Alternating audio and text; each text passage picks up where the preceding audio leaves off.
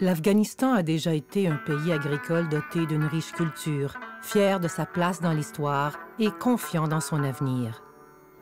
Aujourd'hui, c'est l'un des pays les plus pauvres et les plus désespérés de la planète. Au cours des 30 dernières années, l'Afghanistan a subi l'invasion brutale des Soviétiques, une longue guerre civile, une sécheresse catastrophique et les ravages du régime cruel des talibans.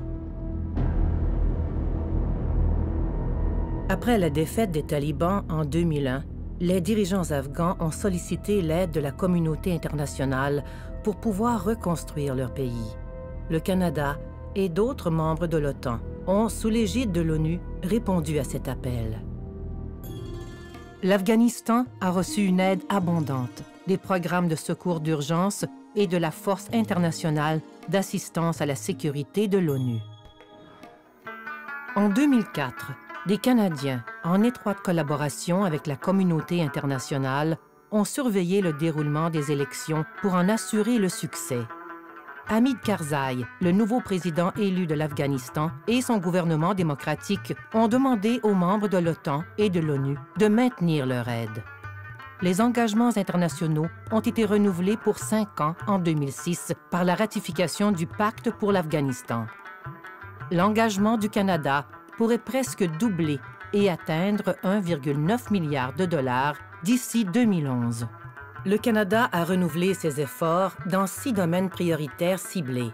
Sécurité dans Kandahar, services essentiels comme l'éducation et l'eau dans Kandahar, aide humanitaire aux populations vulnérables dans Kandahar, meilleure gestion de la frontière pakistano-afghane, renforcement des institutions nationales et des processus électoraux, efforts de réconciliation pris en charge par les Afghans.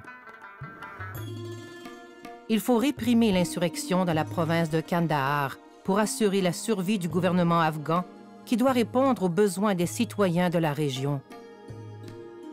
Besoins en éducation, en développement économique et en aide humanitaire de base.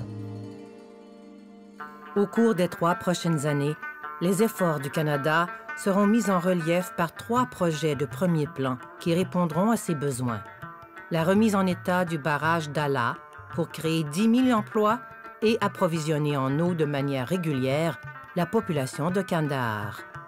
La construction et la remise en état de 50 écoles dans les principaux districts de Kandahar et la formation de 3 000 enseignants la vaccination contre la polio de 7 millions d'enfants afghans, dont près de 350 000 dans Kandahar, ce qui fera du Canada le plus important donateur au monde dans les efforts pour éradiquer la polio.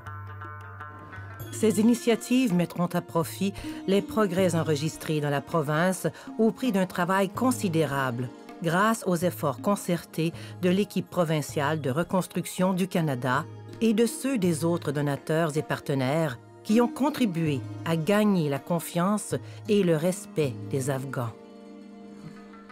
De tels progrès sont d'autant plus importants que l'Afghanistan se trouve à la croisée des chemins. Les Canadiens, leur gouvernement et les ONG, ici et sur place, avec les autres membres de l'OTAN et de l'ONU, doivent continuer à collaborer pour arriver à des résultats à long terme. Il en va de l'intérêt de tous que l'Afghanistan reprenne la route de l'autosuffisance pour devenir un État viable. Cette voie part de la province de Kandahar. Et les Canadiens apportent leur contribution.